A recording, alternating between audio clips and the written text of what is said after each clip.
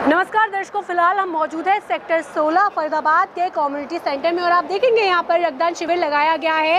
हरियाणा प्रदेश प्रभारी पूर्व मुख्यमंत्री त्रिपुरा के विप्लव कुमार जी यहाँ आज आए थे और उन्होंने कहीं ना कहीं यहाँ पर जो है युवाओं का जोश बढ़ाया है और कहीं ना कहीं आप देखेंगे रक्तदान शिविर में, इस शिविर में आपको युवाओं की तादाद बहुत मिलेगी और तमाम ऐसे संदेश दिए हैं उन्होंने। अभी सुनवाएँगे, वीडियो में बने रहिएगा और दिखाएँगे कि कितना कारगर और सफल रहा ये शिविर और आपको बता दें, पंकज सिंगला जो कि जिला अध्यक्ष है, युवा मोर्चा भाजपा के, उन्होंने क्या कहा और उस मौके पर कैसा रहा ये पूरा शिविर? दिखाएँगे अभी हम आपको। पता नहीं, गांधी लेके बैठ गया और उस नाम को शादी होने के बाद भी छोड़ता नहीं बडरा हो गया, तब भी गांधी रख देता है। तो इस परिवारवाद एक एक सरनेम को बेचना है वो भाजपा में नहीं आप कहीं भी दिखा नहीं सकते। जो एक परिवार को लेके बैठे हैं और एक सरनेम को इतना बेचा इतना बेचा। गांधी जी रहे तो वो भी रोने लग जाता। इसलिए सर आप बात हमारे पार्टी में नहीं है इसलिए मैं ये नहीं कहूँगा आप एमएलए साहब हैं। मान के चलिए उसके बेटा राजनीति जानता है दस साल बाद एमएलए बना है वह मंत्री बने गलत नहीं है।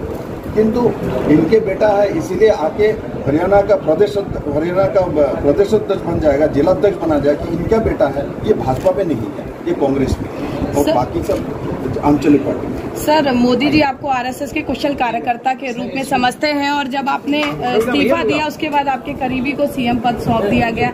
लेकिन ना आप खुद विचलित हुए ना आपने जो आपके और लोग विचलित हो रहे थे उनको भी यू टर्न पर ले आए। तो हरियाणा में भी कुछ इस तरह के लोग होंगे तो किस तरह से अपने अनुभव को आप साझा करते हुए एक अनुशासन का पाठ पढ़ाना चाहेंगे? भारतीय जनता पार्टी में अनुशासन है।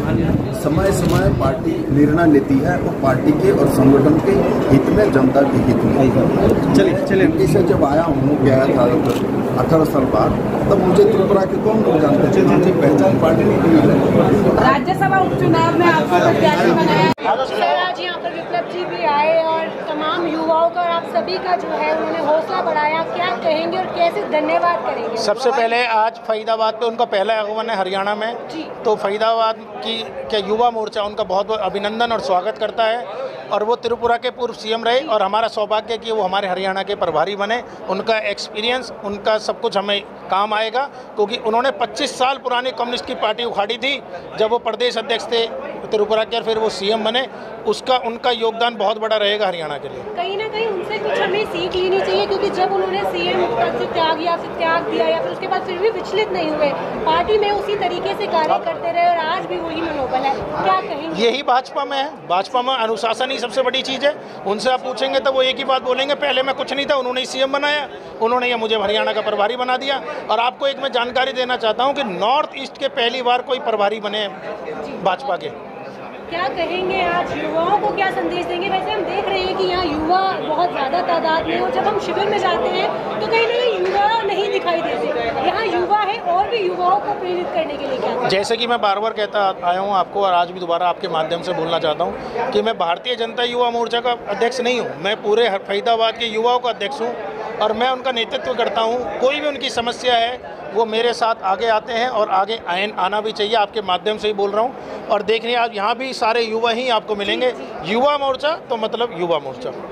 क्या नाम है आपका? जी मेरा नाम गौतम बढ़ाना है। दिया है ब्लड दिया है? जी मैं दूँगा मैंने किट ले रखी है। मैं अध्यक्ष जी के बाद देने वाला हूँ। जैसा कि आप पूछ रहे थे कि यहाँ पे इतने युवा कैसे दिख रहे हैं तो मैं आपको बताना चाहूँ कि हमारे पंकज सिंगला जी ने जो आह्वान किया है पूरे फरदाबाद में कि भाई हम मोदी जी के जन्मदिन को एक सेवा पखवाड़े के तहत बनाएँगे तो आज पंकज जी ने सभी को आह्वान किया कि आप सभी लोग आए और यहाँ पे अपना ब्लड डोनेट करें तो हम यहाँ पे सभी लोग आए हैं ब्लड डोनेट